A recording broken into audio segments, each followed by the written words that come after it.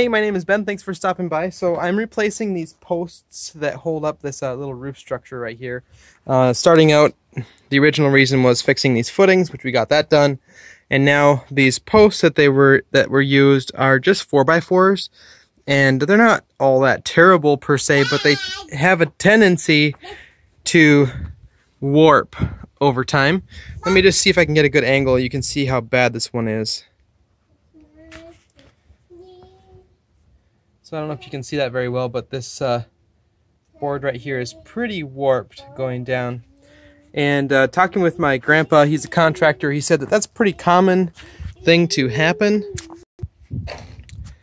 So he said the best way to prevent that is to make your own, basically, posts uh, by using two treated 2x4s and a sandwich in between a half inch of plywood. So you can see right here, this one is already finished. And if we look down it, it is very nice and straight. Both of these are.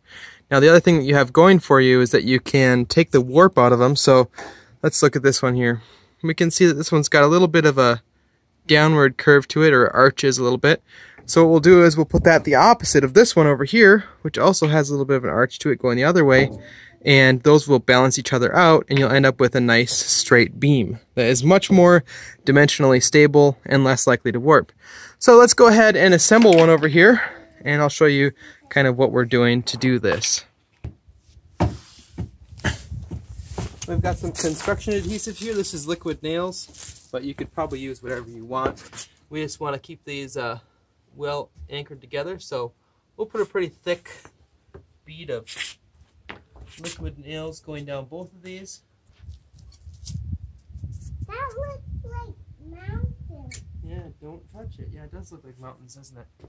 And I have both of these laying in such a way that they are curved up on either end. So when I flip them over to lay them on top of each other, it will take the curve out of both of them.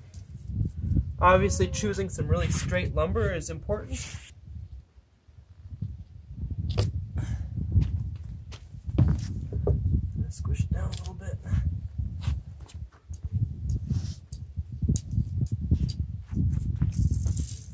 And then since I have to add on a small piece here because it's longer than 8 feet, um, what I'll do is I'll set this here and then we're going to put a good bead of adhesive right on the end of these.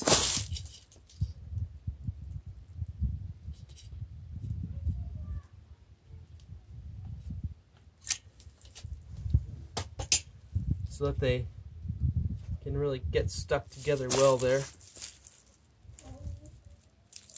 Now we're just about ready to flip our other one over and set it on here.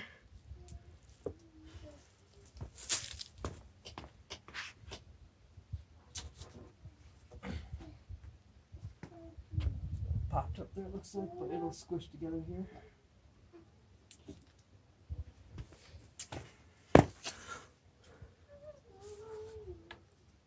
line up my ends and I'm going to trim these to the final length here once I'm done putting them together. I got them kind of close to what I want their final length to be. So what I like to do is stand on this, get it lined up first. Just about there. And stand on it when you put your anchor in.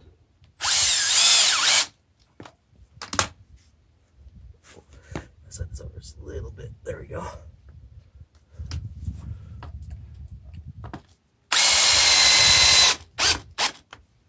just like that.